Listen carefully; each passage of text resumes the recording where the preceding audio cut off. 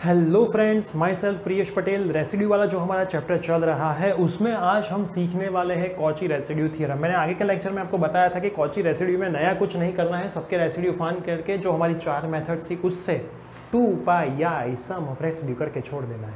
तो ये जो सम हो गए, उसमें कहीं पर भी मैं रेसिड्यू फाइंड नहीं करने वाला। रेसिड्यू आपको फाइंड करना है, मैंने आपको मेथड सिखाई है अलग अलग मेथड से फाइंड करो। मैं आपको हिंट दे दूँगा कौन सी मेथड है, आपको ही फाइंड करना है। और लास्ट में two pi I sum of residue अभी आपको पता कैसे चले? देखो इंटीग्रेशन आएगा क्लोज सर्कल आएगा और आपको एक लिमिट दी हुई होगी। तो पहले आपको देखना है कि भाई पॉइंट अंदर है, बाहर है। अगर पॉइंट बाहर है तो उसका रेसिड्यू भूल जाओ। देखो सिंपल रेसिड्यू में हम चेक नहीं करते थे पॉइंट अंदर बाहर कोई कंडीशन हमें यहाँ पे नहीं देते थे। यहाँ पे हमें क्या करना है? देखिए सम नंबर वन में हम सर्कल बनाते हैं, mod z is equal to two का। तो आपको पता है कि भाई सेंटर ज़ीरो ज़ीरो ऐसे सम हमने Cauchy integral theorem and Cauchy integral formula में किए हैं, रेडियस टू।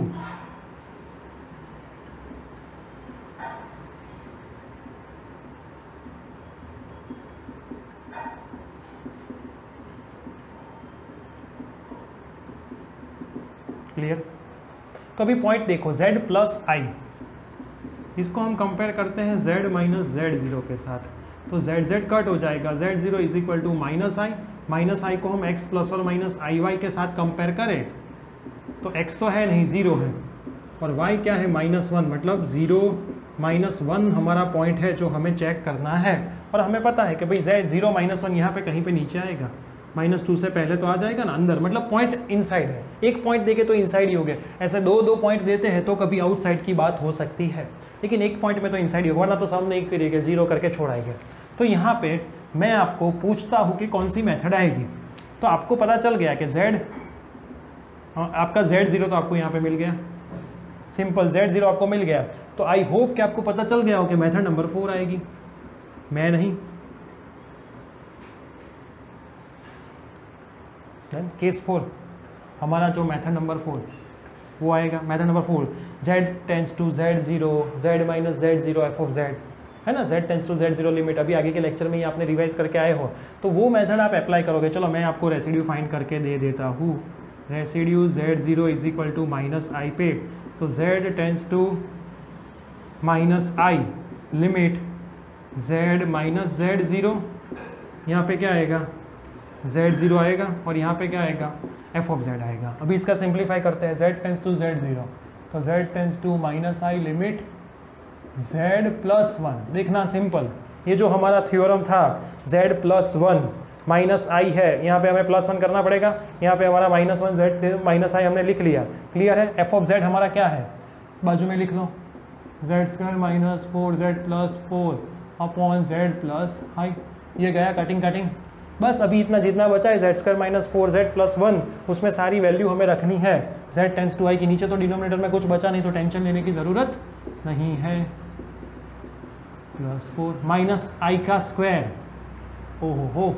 अभी इसका हम क्या करेंगे? माइनस आई का square plus i square plus four i plus four i square equal to minus one plus four i plus four तो फोर आई प्लस थ्री आपका आंसर आएगा।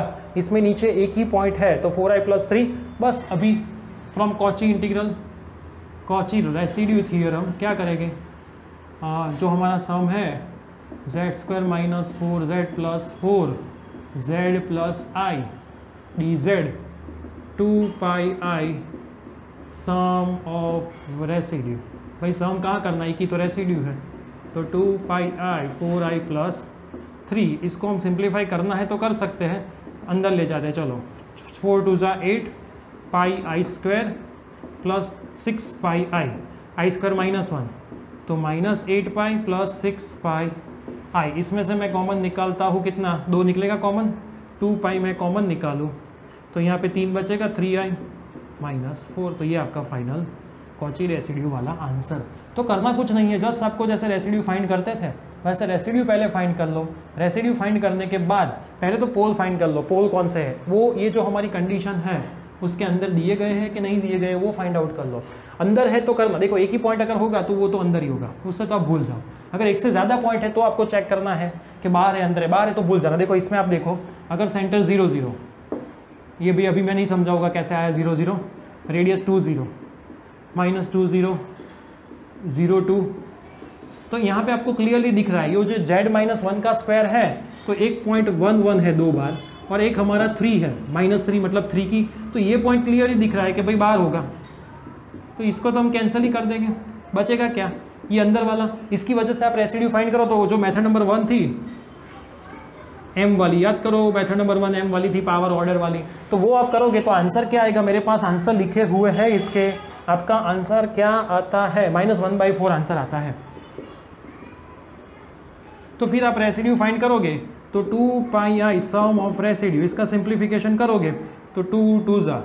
तो minus pi i by two yes minus pi i by two yes minus pi i by two इसका आपका answer आता है। अभी same इसमें आप चेक करो, देखो हर एक जगह पे इन लोगों ने टू ही दिया है। सर्कल बनाओगे?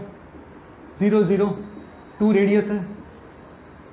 Zero, two, minus two, zero. यहाँ पे पॉइंट कौन सा है? एक वन देखो z square minus one equal to zero तो z square equal to one तो z equal to plus one and minus one and ये माइनस थ्री है तो थ्री आएगा। तो प्लस वन माइनस वन तो अंदर ही है। तो इसके लिए भी रेसिड्यू फाइंड करो, इसके लिए भी फाइंड करो। और इसके लिए आप क्या करोगे? बार होगा पॉइंट थ्री ज़ीरो तो इसके लिए रेसिड्यू फाइंड करने की ज़रूरत नहीं है। इसके लिए भी आप मेथड यूज़ करोगे तो आपका आंसर कितना आता है? Z three z square okay आपका आंसर, अब वो लास्ट वाली मेथड यूज़ करना, method number four z tends to z zero देखो यहाँ पे जो हमने यूज़ की ना, वो सेम मेथड अप्लाई करना वन बाई वन आपके आंसर आएँगे। मैं आपको आंसर दे देता हूँ माइनस वन के लिए one by eight and plus one के लिए माइनस वन के लिए one by eight and plus one के लिए आपका आंसर आएगा माइनस थ्री बाई फोर। फिर आप करोगे two pi i, sum of residue. बस इसका सिंप्लीफिकेशन आप कर दोगे तो आपको कुछ यहाँ पे आंसर आता है minus five pi i by four. तो आपके माइंड में क्लियर हो रहा है कि सम ऑफ़ रेसिड्यू में कुछ नया नहीं बनता मतलब आगे के जितने हमने सम किए, उसमें कोई कंडीशन ऐसी ले लो कि सब में सम हम कर सकते हैं। तो सम करने के बाद जस्ट आपको टू पाई आई करके सम ऑफ़ रेसिड्यू लिख देना है। सेम मैंने दो सम होमवर्क में दिए है। कंडीशन देखो। ऐसा सम मैंने करवाया इसमें मैं आपको सेंटर बोल देता हूँ zero one done z tends to z zero के साथ compare z minus z zero के साथ आप कंपेयर करोगे तो ये गया। Z zero equal to i आएगा। आई मतलब ज़ीरो एन वन और रेडियस टू है, ऐसा हमने सर्कल लिया है। तो ये सर्कल लिया है सिंप्लीफाई विम्प्लीफाई करोगे जेड स्क्वायर प्लस फोर है तो पॉइंट कौन सा आएगी? Plus two i minus two i plus two i बार आएगा नहीं माइनस टू आई बार आएगा। प्लस टू आई आपका पॉइंट अंदर होगा, आपको प्लस टू आई के लिए ही फाइंड करना होगा। ये पॉइंट बार होगा और आपका आंसर इतना आएगा। Two i plus three upon two i और जो दूसरा सम है, देखना इसमें मैंने जो बोला सेंटर निकाल दो रेडियस आपको पता है, दो point z square plus four को ज़ीरो के साथ सम कंपेयर करोगे तो z square is equal to minus four मतलब माइनस फोर मतलब टू का स्क्वायर और आई का स्क्वायर मतलब प्लस और माइनस टू आई तो इसमें माइनस टू आई बार होगा प्लस टू आई अंदर होगा। और ये जो लास्ट सम है, इसमें ऐसी कंडीशन दी है तो इसमें सेंटर आपको खुद निकालना है रेडियस निकालनी है। आपका आंसर वन बाई टू आएगा एक का ही रेसिड्यू मिलेगा, दूसरे का किसी का नहीं मिलने वाला, सारे पॉइंट बाहर है। इसको आप two pi i sum of residue में रखोगे तो आपका पाई आई आंसर आएगा। तो दोस्तों, कौची रेसिड्यू कोई नया टॉपिक नहीं है। अगर आपको रेसिड्यू अच्छे से आता है तो लास्ट में जस्ट आपको two pi i sum of residue करना है। दूसरी चीज़ रेसिड्यू कितने के फाइंड करने हैं, जो इस कंडीशन के अंदर है, वही। कंडीशन के बाहर है, उसमें तो आंसर ही ज़ीरो वहाँ पे कहीं पे मेंशन कर दो कि ये हमारे गिवन रीजन से बाहर है तो उसका आंसर में हमें रेसिड्यू फाइंड करने नहीं है। इसकी प्रैक्टिस करें, ये सारे सम के आंसर लाए प्रैक्टिस करते रहे। कहीं पे डिफिकल्टी है तो आप हमें बता सकते हैं। पढ़ाई करते रहे। All the very best